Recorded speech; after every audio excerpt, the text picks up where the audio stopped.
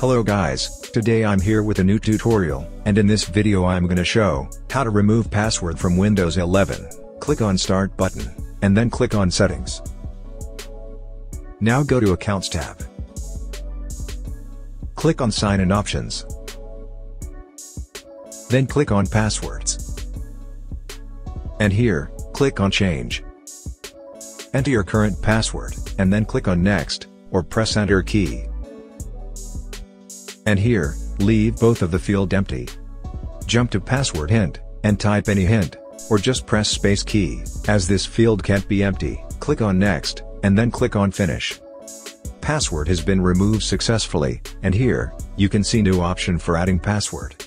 Now, let me lock the screen, and see if Windows 11 is asking for password or not, and it's not. So, that was it, hope you guys enjoyed the video, if you have any question, just comment down below, thanks for watching, and don't forget to like, share, and subscribe, for more updates, stay connected and have a great day.